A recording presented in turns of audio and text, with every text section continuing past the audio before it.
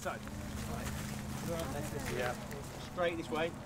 Reasonably happy on the ends as well, okay? Today we're beginning the construction of this wonderful new training facility at Leicester College and what it'll do is to enable them to provide over 100 students with the skills that they need for uh, particularly the motor vehicle uh, industry but uh, others beyond that uh, but particularly to contribute to the local economy in a way that Leicester College does so successfully.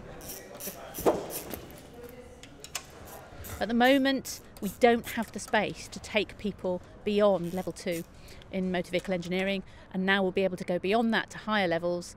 That's also in line with government policy, the fact that we need to make sure that people have a progression route through to employment and ultimately to higher education if that's what they want to do.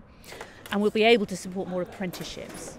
The cost overall is sort of shy of about 4 million, and we're very fortunate to be getting about two thirds of that uh, granted to us by the Leicester and Leicestershire Enterprise Partnership.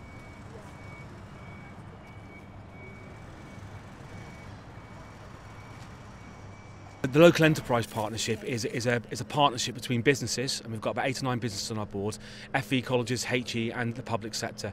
Um, this is the first part of this project, but actually, skills is right at the heart of our agenda. A lot of local companies who I work with every day at the moment are, are really reporting a lot of skill shortages, and the problem is sometimes is that FE colleges or HE colleges aren't always actually given the right type of skills to their students for when they, when they actually leave school to get the jobs.